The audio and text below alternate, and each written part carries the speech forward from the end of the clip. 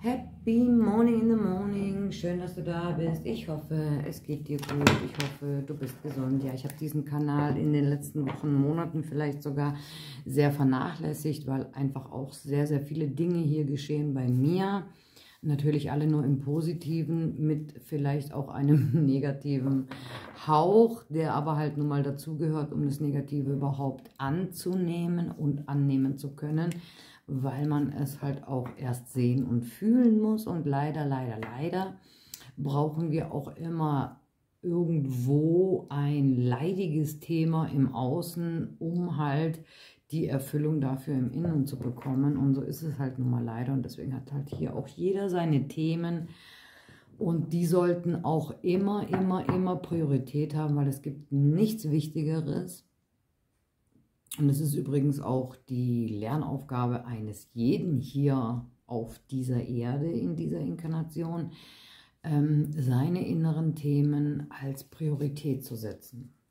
Ja, wir bekommen unsere Themen halt auch immer ähm, durch den anderen, welches meistens der Herzensmensch ist, gespiegelt, aber im Grunde genommen durch alle Menschen, weil wir sind alle eine Seelenfamilie und mit den ähm, Menschen, die unmittelbar um einen herum sind, also die Familie äh, oder die allerbesten Freunde, mit denen man sehr viel Zeit verbringt, sind auch immer eine Summe dessen, was in dir vorgeht, was in dir sitzt. Und ähm, wie gesagt, ähm, es sind alles Spiegel, die einem unbewussterweise oder auch bewussterweise darauf hinweisen möchten, welches Thema gerade ansteht, welches Thema geheilt wird da die meisten Menschen halt auf einen, ähm, ja, auf einen Beziehungspartner ähm, fokussiert sind, ist er auch immer irgendwo der Spiegel für das aktuelle Thema, welches gerade sich zeigt und geheilt werden möchte. Wir schauen in die Karten, um welches Thema es sich aktuell handelt. Im Kollektiv, das möchte ich noch dazu sagen, haben wir jetzt gerade ähm, sehr sensible Energien, das heißt auch ähm, Themen, ähm, die sich jetzt zeigen müssen, möchten, die im Unterbewusstsein sitzen, die hochkommen möchten, die ins Bewusstsein kommen möchten. Diese Themen haben wir zwar eigentlich immer, aber jetzt ähm, sind sie gerade verstärkt um uns herum im Kollektiv. Ähm, das heißt, umso sensibler man auf ein bestimmtes Thema reagiert, ähm, kann man davon ausgehen, ähm, dass ein unbewusstes Thema anklopft und geheilt werden möchte. Ja, wir sehen schon hier mit den Acht der Schwertern, ähm, ja, die Acht der Schwerter, die Hauptkarte, die Hauptenergie und hier auch gleich mit dem Hauptthema bzw. der Essenz des Themas ist ähm, Neuausrichtung, neue Fokussierung, ähm, an Neuem ähm, dranbleiben, an neuen Erkenntnissen dranbleiben, an neuen Fähigkeiten, die man vielleicht erkannt hat oder erarbeitet hat oder herausgefunden hat, dran zu bleiben, weil hier ereignen sich auf jeden Fall mega neue Dinge, aber man braucht halt eben auch ähm, Willenskraft und, ähm, ja, ich würde sagen, Prinzipien. Ja, man muss seine Prinzipien fokussieren. Ähm, man muss auch sein... Ähm, wie soll man sagen, wie heißt das Wort, mir fällt es gerade nicht ein, ähm, seine Priorität ähm, nochmal genau anschauen, um halt, wie gesagt, ähm, ne, aufmerksam, äh, Energie folgt der Aufmerksamkeit und sich hier anschauen, was ist eigentlich meine Priorität und was mache ich tatsächlich davon. Und wenn ich dann weiß, was meine Priorität ist, ist es natürlich sinnvoll, ähm, da dran zu bleiben, da am Ball dran zu bleiben. Ja, das ist die Hauptenergie, die Hauptessenz weil das ist so die eigene Eigenverantwortung übernehmen, die eigene Macht über sich selber wieder zu gewinnen, weil womöglich hier auch andere Mächte im Spiel waren, bei der einen oder anderen Person, entweder bei dir oder bei deinem Gegenüber. Da fühlst du dich selber rein. Ich rede jetzt einfach mal, so, so, sobald, solange ich keinen anderen Impuls habe in der Du-Form, spreche dich persönlich an. Und wenn ich halt einfach so energetisches Gefühl habe, dann... Ähm, switche ich sowieso automatisch um auf ihn. Und so lange bleibe ich einfach hier beim Du. Ja, die Acht der Schwerter ist, ähm, ist eine Konsequenz, also das Ergebnis einer Konsequenz von einem Verhalten, welches man, welches einem entweder selber noch gar nicht bewusst war, bekannt war und man aber auch unfähig ist, es zu klären, darüber zu reden oder es anzusprechen. Und hier gibt es jetzt sozusagen die Chance und die Möglichkeit, das zu ändern. Ja, entweder weil man mit, mit einer bestimmten Person darüber spricht oder weil man hier in die Handlung kommt, in die Handlung geht und meinetwegen ähm, etwas tut, um die Fronten zu, zu klären, um die Situation zu klären, um das Gesagte, Gemachte oder um was auch immer es geht bei euch oder bei dir zu klären, ja, in die Handlung zu gehen, etwas dafür zu unternehmen, etwas zu machen. Die Chancen sind da, aber nur man traut sich nicht so wirklich, man wägt ab, soll ich, soll ich nicht, man traut sich einfach nicht, ja.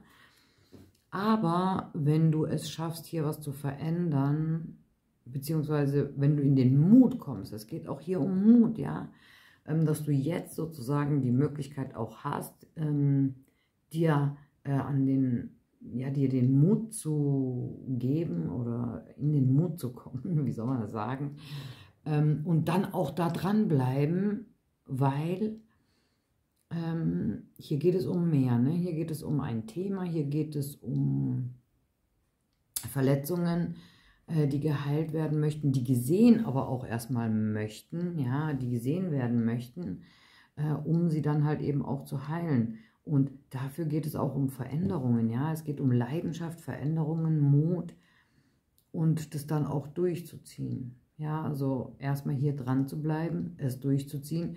Und hier liegt auch die Essenz des Durchziehens, ist halt, man hat sich zum Beispiel etwas vorgenommen, ähm, man hat hier Dinge rausgefunden, man hat ähm, neue Wege eingeschlagen, aber man tut sich schwer mit dem Durchhaltevermögen beziehungsweise ähm, damit äh, nur wirklich dran zu bleiben oder halt, man muss sich immer wieder neu ab aufrappeln. Vielleicht lässt man sich einfach zu schnell fallen und sagt sich, boah, nee, doch kein Bock, ist mir doch zu anstrengend, ich lasse mich lieber hängen oder gehen. Ich bin mal gespannt, was hier für Klärungskarten kommen. Ich bekomme da schon den ein oder anderen Impuls und kann mir schon vorstellen, welche Karte hier fällt. Weil hier liegt halt eben auch ähm, die Fremdeinwirkung bzw. die fremde Macht oder halt ähm, das traditionelle Denken ähm, oder halt ähm, Glaubenssätze, die immer wieder auch dazwischen krätschen und äh, verhindern wollen, dass man halt hier wirklich, ähm, was heißt verhindern wollen? Ne? Ich habe jetzt auch wieder voll unkontrolliert geredet, äh, aus meiner Energieebene heraus.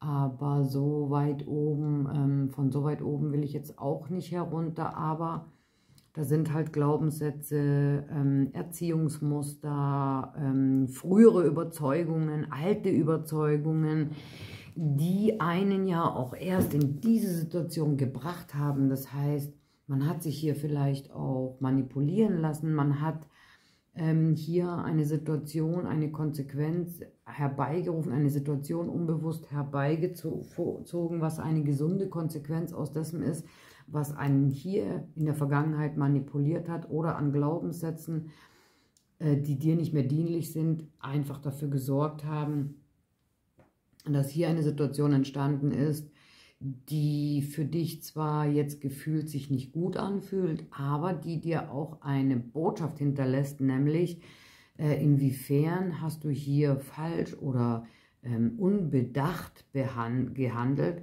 Beziehungsweise diese Konsequenz ist auch immer ein Hinweis dessen, dass es hier was zu klären gibt, wo dir aber vielleicht auch der Mut fehlt, welches dich nämlich hin, daran hindert, hier weiterzumachen, wo du mal angefangen hast.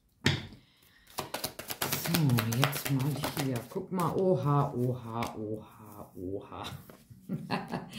Hier geht es um die Liebe und um dein Gegenüber. Egal, ob du jetzt männlich oder weiblich bist oder wir gehen einfach in seine Energie rein. Im Grunde genommen ist es egal. Aber hier wäre jetzt wieder so eine Stelle, wo ich sagen würde, da fließe ich jetzt wieder in seine Energie rein, weil hier geht es um Liebe, hier geht es um die Beziehung. Wenn du keinen Partner hast oder keinen Herzensmensch hast, dann bezieht sich dieses Orakel bei dir auf ähm, vielleicht frühere gescheiterte Beziehungen und ähm, das Thema da drauf oder ähm,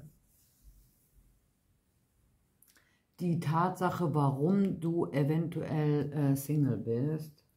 Ja, ähm, also du bist jetzt davon nicht ausgeschlossen, von diesen Energien, weil im Grunde genommen sind es ja nur Energien, die der Kartenleger quasi versucht in Worte zu übermitteln, ja.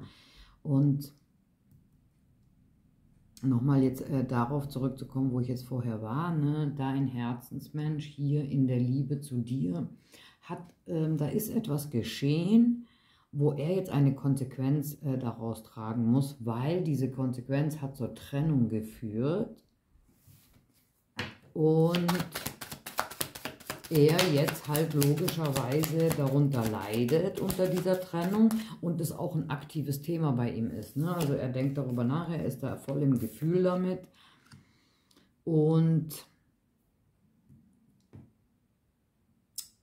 ähm, hängt also noch in dieser Energie, was da passiert ist, was zur Trennung geführt hat und versucht sozusagen jetzt in den Mut zu kommen. Und diese Möglichkeiten gibt es jetzt gerade oder die Chancen und die Möglichkeiten mm,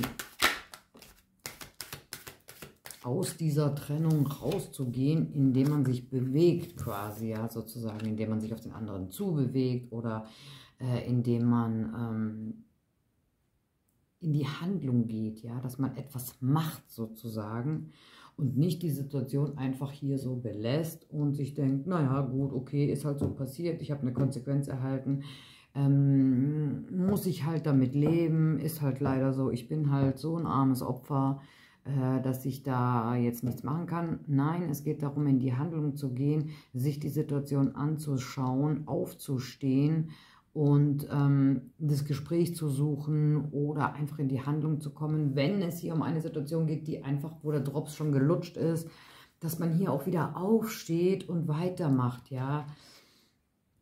Weil hier wurde etwas begonnen auf einer sehr tiefen Gefühlsebene. Also ne, man sieht hier schon, es geht hier wirklich um eine sehr, sehr tiefe Seelenverbindung zu jemandem, wo auch viele tiefe Gefühle geflossen sind, Emotionen geflossen sind. Eine sehr harmonische Beziehung, Verbindung, wenn auch das jetzt nicht so diesen Status äh, Beziehung hatte oder so. Aber hier ist viel geschehen, ja, hier ist viel verändert worden, hier ist viel bewegt worden, auch gerade im Bezug auf Glaubenssätze. Man hat hier tiefe Themen angeschaut, man hat hier auch tiefe Gespräche gehabt. Das Leben hat sich auf einer tiefen Ebene verändert, ja. Aber jetzt schauen wir mal, was die letzte Karte hier sagt als Klärungskarte. Da haben wir schon wieder der Klee die Trennung und äh, die Handlung. Ne? Vielleicht hat man hier zu, zu schnell oder zu viel was gemacht oder getan oder gesagt, welches einem Mutterthema zugrunde liegt, ja, oder einfach zu schnell, zu unbedacht, zu kaltherzig ähm, was getan oder gesagt hat, Ähm, guck mal, ich habe hier die unterste Karte auf dem Deck, die will ich dir zeigen.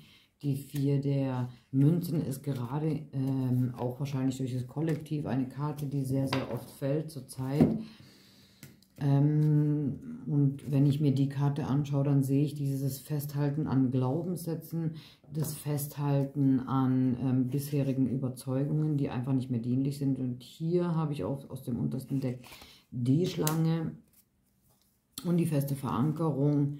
Ähm, Also einmal sieht man hier, dass hier zwei Menschen auf einer tiefen Ebene fest verankert sind, aber man sieht halt eben auch Ego-Themen, die da reingekrätscht haben, ähm, weil man hier vielleicht auch ähm, durch die Glaubenssätze in diesem Gefühl war, ja, ist halt so, muss ich ertragen, muss ich erdulden, kann man nichts machen nach dem Motto, ja, kann man halt nichts machen, ist halt so. Dann ist hier etwas passiert, woraus derjenige eine Konsequenz gezogen hat. Und Konsequenzen sind immer was Positives, denn Konsequenzen zeigen immer, hier ist was, also ne, ne es, eine Konsequenz ist ja nicht immer was Negatives, ja. Ähm, wenn, wenn ich mich angestrengt habe, um was zu erreichen und äh, ich habe dann was erreicht, dann habe ich eine positive Konsequenz. Und wenn ich jetzt, ähm, wenn die Konsequenz sich negativ anfühlt, dann ist da auch ein Thema dahinter, welches auf Verletzungen beruht, auf Gefühlen beruht, auf Emotionen beruht. Und hier mit der Schlange ist halt dieses Indiz, dass es hier um ein Mutterthema geht, beziehungsweise ein rationales Thema. Hier hat jemand unbedacht, ähm, rational, kühl, kalt, abwertend, ähm, in Bezug auf ein ungeheiltes Mutterthema reagiert beziehungsweise hm, aus einer alten Überzeugung heraus, aus einer alten Art und Weise heraus, hm, wo man in dem Moment ähm, ja vielleicht unachtsam war oder ähm, sich selber nicht kontrolliert hat, wie auch immer. Und daraus ist die Konsequenz der Trennung entstanden. Ja, und jetzt geht es darum, aus dieser Konsequenz und dieser Trennung was zu machen. Was macht man daraus? Man überlegt, man schaut mal nach innen, ja, man schaut, ähm, man fühlt sich da rein, was wurde gesagt, was wurde getan, hab, ne, einfach, man, man reflektiert die Situation sozusagen. So, weil es geht hier um eine Verbindung zu einem Menschen, mit dem man sich fest verankert fühlt, mit dem man sich tief verbunden fühlt und auch extrem harmonisch, zugehörig, familiär harmonisch. Also da geht es einfach um mehr. Aber es geht auch darum, mit sehr viel Willenskraft hier am Ball zu bleiben, dran zu bleiben, auch wenn es schwerfällt. Und das ist auch der größere Aspekt. So, jetzt haben wir hier nochmal die Bestätigung. Guck mal hier. Ähm, der Grund der Konsequenz ist hier mit den fünf der äh, Stäben so eine Art Rebellion, ja, die man in sich hat. Ähm, mh, mm, da hat sich jemand darüber gestellt, da hat sich jemand ein Urteil erlaubt, weil man sich gekränkt oder verletzt oder bevormundet gefühlt hat. Genau, bevormundet äh, trifft es eigentlich ganz gut auf den Punkt, weil wenn man sich bevormundet fühlt, hat man noch ein ungeheiltes Thema hier, weil die Schlange steht ja auch immer für eine Entfaltung, für ein Wachstum und auch für eine Heilung, beziehungsweise was hier noch nicht geschehen ist. Aber durch den Klee kann man halt hier sehr gut sehen, dass ähm, hier schon viel geschehen ist, aufgrund von einer sehr schönen, intensiven Verbindung sozusagen auf tiefen Ebenen.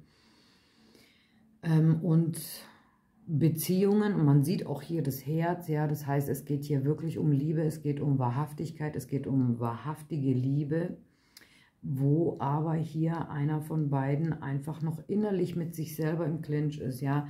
Man hat hier noch eine Spaltung im Herzen durch Ego-Themen, durch Verletzungen, durch Traumas, wo man hier noch dazu neigt, zu schnell zu rebellieren und oder zu schnell dazu neigt, die Flinte ins Korn zu werfen, sobald es ungemütlich wird, ja.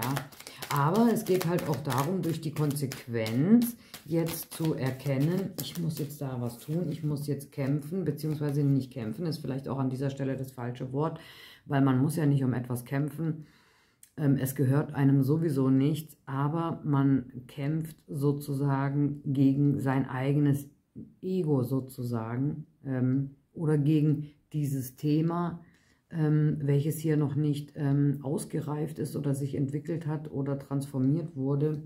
Und jetzt haben wir an dieser Stelle hier eine interessante Konstellation. Hier haben wir nämlich den, ähm, den Teufel, der für die Süchte steht. Ja, vielleicht geht es hier bei dem einen oder anderen um Suchtthemen, äh, immer wieder zurückzufallen, immer wieder ähm, abzuknicken, wegzufallen, ähm, das ein oder andere Mal die Kontrolle über sich selber zu verlieren. Und ich rede jetzt nicht von der Kontrolle, die aus dem Verstand herauskommt, sondern ich rede von ähm, der Kontrolle über sich selbst, über, der, über die Situation und der Kontrolle darüber, ähm, sich kontrolliert zu verhalten, wenn dem anderen gegenüber, wenn man selber zum Beispiel getriggert wurde, wie auch immer, ähm, wird jetzt dem Herzensmenschen bewusst, beziehungsweise er, er versteht langsam, beziehungsweise was heißt langsam, eigentlich schnell, weil es ist ja sozusagen die,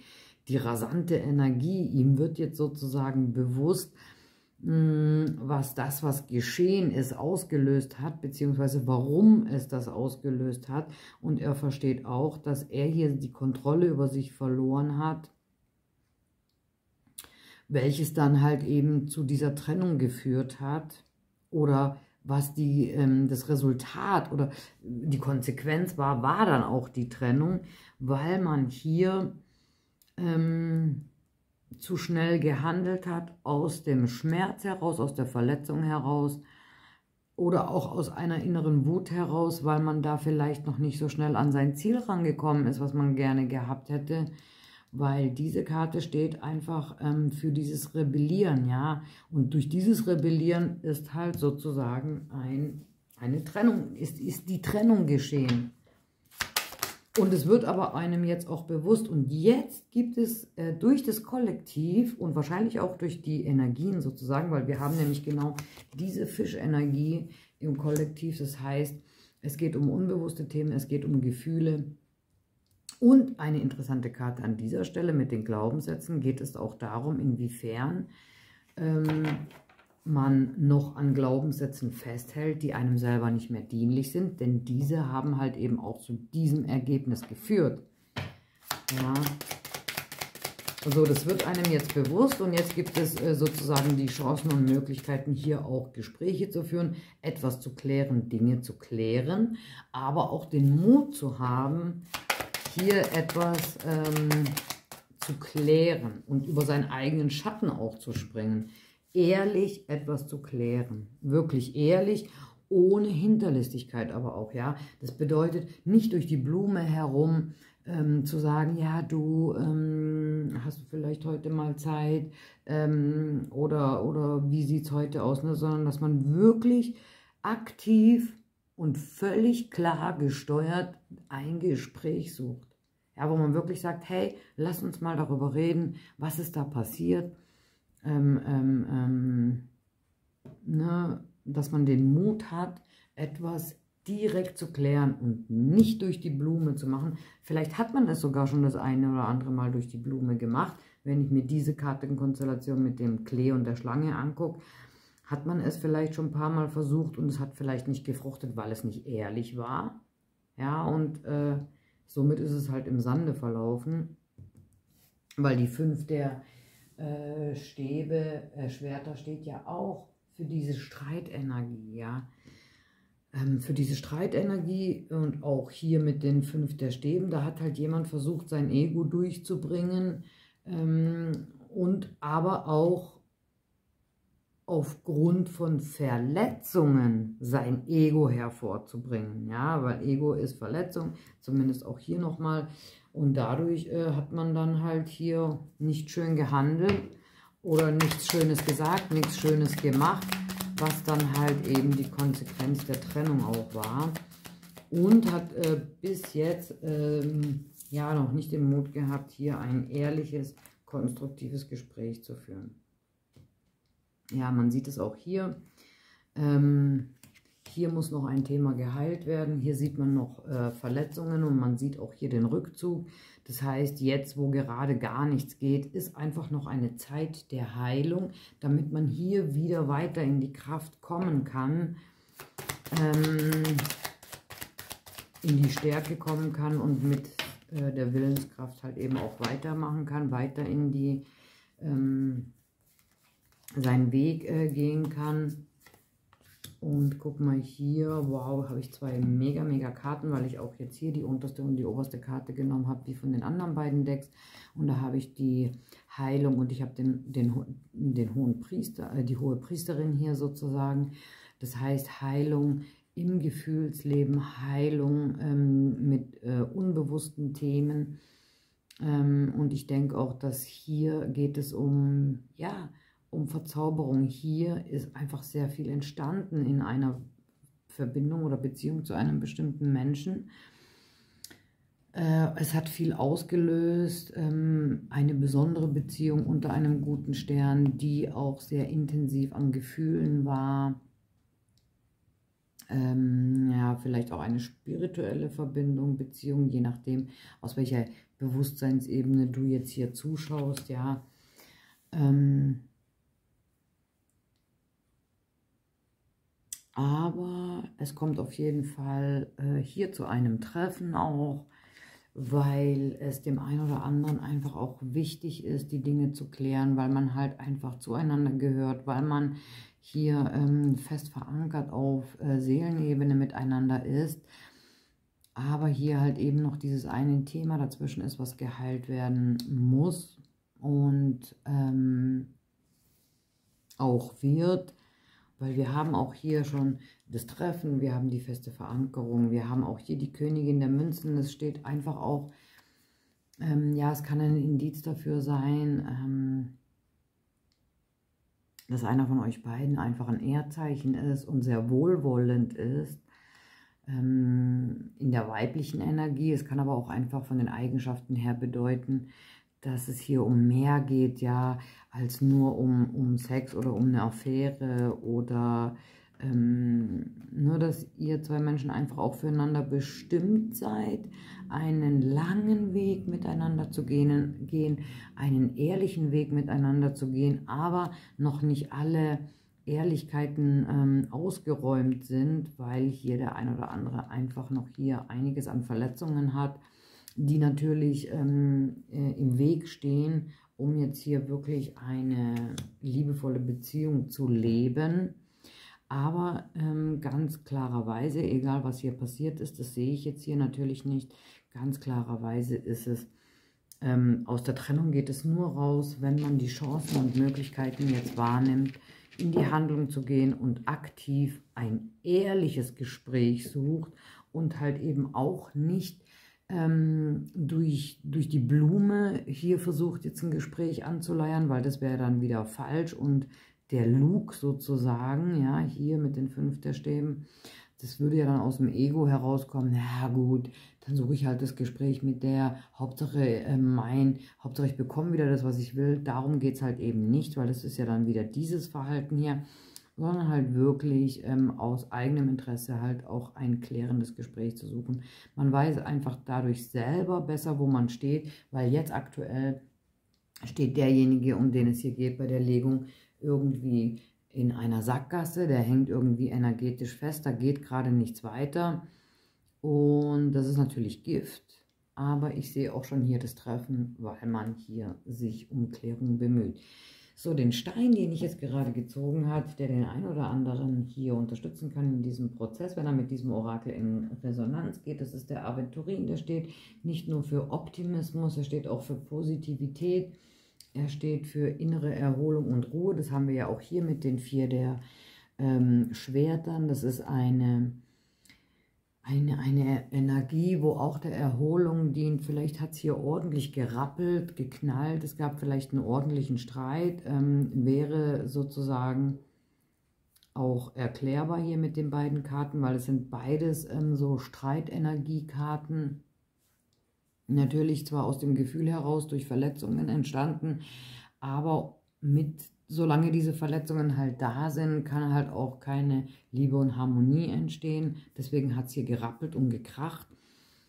Ähm und deswegen ist der Stein hier an dieser Stelle auch unterstützend, äh, dass man sozusagen auch hier ähm, nur durch den Rückzug auch erstmal, dass einem auch was bewusst wird, ja, weil Rückzug und Kontaktsperre oder Kommunikationsstille bedeutet ja auch immer die Möglichkeit, über gewisse Dinge nachzudenken. Und hier habe ich halt den Hinweis auch, ähm, dass einem hier durch diese Stille, durch dieses Nachdenken auch bewusst wird, dass man hier aus der Verletzung heraus gehandelt hat.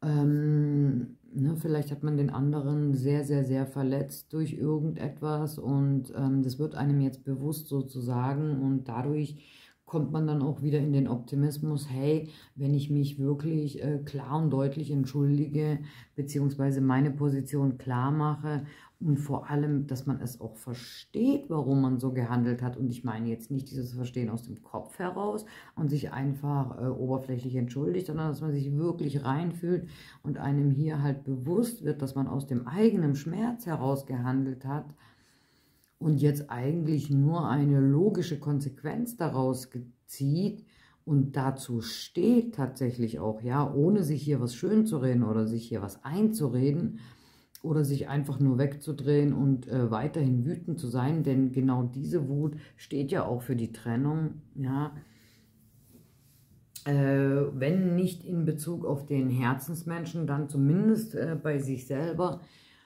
und deswegen ist es hier wichtig, dass man wieder in eine liebevolle Energie kommt, in eine liebevolle Frequenz kommt, indem man ähm, ja raus aus dem Schattenthema kommt sozusagen und ja wieder rein ins Fühlen kommt. Denn nur wer im Gefühl ist, kann auch hier fühlen, warum, wieso, weshalb. Und äh, um genau diese Energien geht In diesem Sinne hoffe ich, dass ich dir hier weiterhelfen konnte und ich wünsche dir einen wunderschönen Tag. Bis zum nächsten Video. Wenn du magst, deine Sandra.